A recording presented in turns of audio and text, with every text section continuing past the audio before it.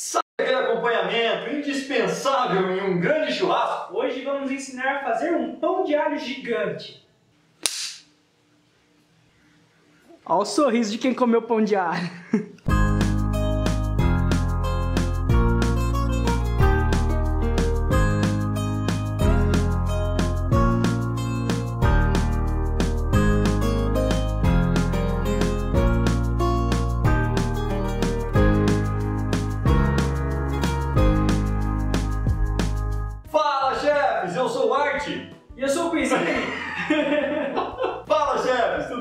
Eu sou o Luiz E Henrique eu sou o e William. nós somos do canal Art Cuisine. Vamos começar a preparar este pão de alho. O primeiro passo é pegar um ovo, quebrar ele no recipiente, bate ele e separa uma colher de sopa. O restante vamos colocar em um bol. Como na imagem aí, chefes. Ao ovo acrescentaremos 20 gramas de açúcar refinado, aproximadamente uma colher de sobremesa. E junto com o açúcar vamos colocar o fermento, 4 gramas. Quanto que é isso? É um pouquinho menos da metade do pacotinho que a gente está acostumado a comprar, né? O fermento biológico seco. que vem 10 gramas, perfeito. Pra quê? O açúcar agora ele vai dar uma ativada, uma acordada nesse fermento. Vamos acrescentar 200 gramas de farinha de trigo 3 gramas de sal dá em torno de uma colher de chá. e 80 ml de leite integral morno, não fervendo, Vamos misturar uma pré-mistura. E mão na massa, chefes. Sem medo de ser feliz, vamos Ah, mexendo. agora a colher não faz mais efeito. Chefes, olha a massinha que conseguimos. Vamos pegar aqui o restante da farinha e jogar na bancada. E agora iremos sovar com aquela técnica que está aparecendo aí na imagem, chefe. Estica, dobra, estica, dobra por 5 minutos. E agora que sovamos 5 minutinhos, vamos esticar a massa, Isso aí. Pegar um cubinho de manteiga em temperatura ambiente Manteiga sem sal, 30 gramas, dividida em três pedacinhos. Não precisa ser nada muito exato não, chefe. isso. Ah. Aqui vamos pegar 10 gramas, ou seja, um terço dessa manteiga e sovando. Isso aí. Conforme ela for derretendo, acrescenta o segundo, sova mais um pouco, acrescenta o terceiro, sova mais um pouco, até essa manteiga estiver incorporada. Até, até quando esta manteiga estiver totalmente incorporada à massa. É normal ela soltar um pouquinho assim, vai mexendo, chefes. Exatamente, vai aglutinar. E aí, chefes, a gente vai fazendo uma bolinha com ela por baixo, com esse movimento, assim, apertando a base, e aqui ela fecha. E aí ela se torna uma bolinha de massa linda. E levíssima, chefes. Tá demais. Agora vamos separar papel manteiga. E está aqui na nossa mão, papelzinho manteiga, você viu, hein? A gente é rápido, hein?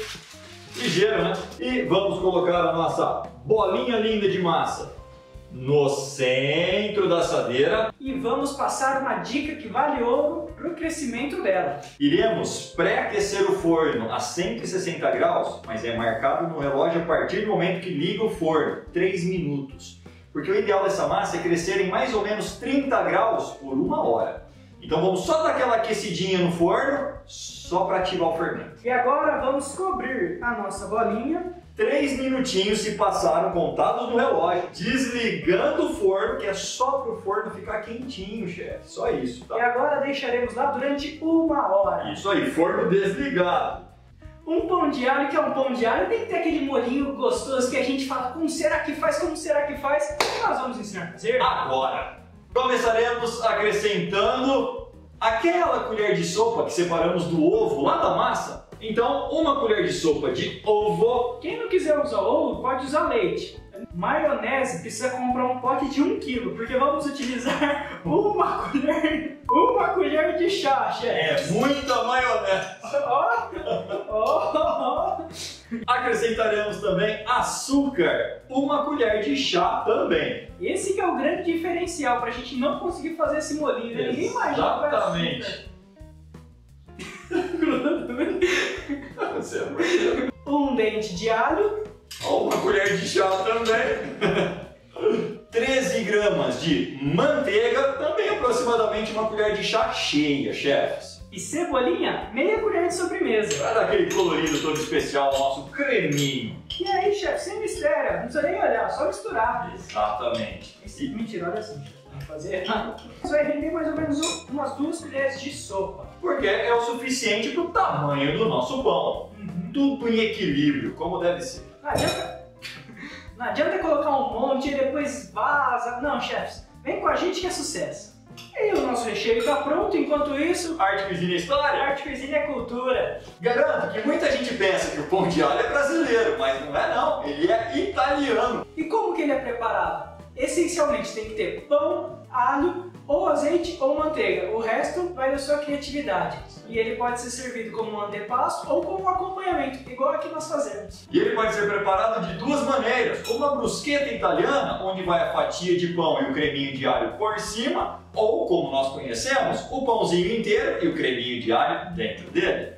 E o pão de alho industrializado, aqueles que nós conhecemos mais, ele foi inventado em 1970. Por qual empresa, parceiro?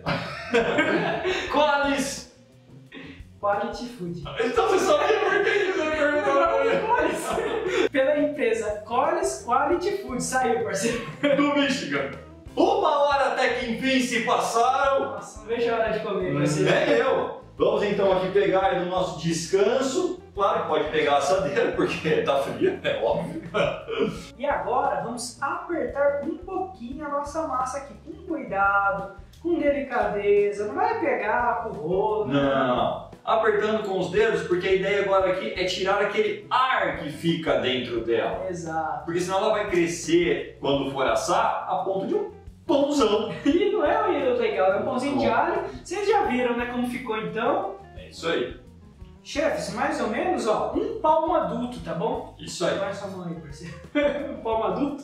É Eu sou menino ainda, sou igual Chaves. E com uma faca, de preferência uma faca lisa, sem serra, vamos fazer aqui, transformar essa massa num xadrez.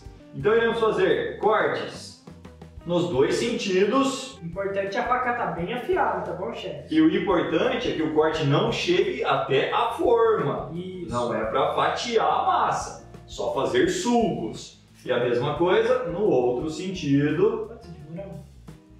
Eu gosto de suco de morango. E de laranja. E agora vamos pegar nosso creminho de alho e vamos colocar em cima desses sucos que o parceiro fez, que infelizmente não é de maracujá. Não. E vamos só colocando, chefes, e como na imagem aí, ó, vamos forçando esse creminho a entrar nesses suquinhos aqui. E agora vamos começar a rechear com mussarela. Vamos pegar com um pouquinho de mussarela ralada e fazer que nem um tubinho, né, parceiro? Isso, no total aqui nós temos 170 gramas de mussarela ralada. Vamos pegar aqui e colocar no meio das cavidades. Isso, em cima dos suquinhos onde foi colocado o creme. E tá bonito e legal, tá na hora de assar. Vamos lá, a 180 graus, pré-aquecido durante 10 minutos, e ele ficará entre 15 e 17 minutos. Mas aí, chefes, com as variações do forno, até dourar a massa. Chefes, deu 17 minutinhos, vamos retirar do forno. Vamos ver se ficou bonito, parceiro? Eu tenho certeza. Olha, de todas as escolhas que eu podia ter feito na minha vida, melhor foi ter um canal com esse cara pra fazer essas coisas. Olha isso, parceiro. Pãozão de alho, espetacular! Vamos comer? Já! E chegou a hora. A melhor hora! Vamos experimentar, né, E parceiro? já! Olha, tá. Ó, Vamos lá? vamos lá?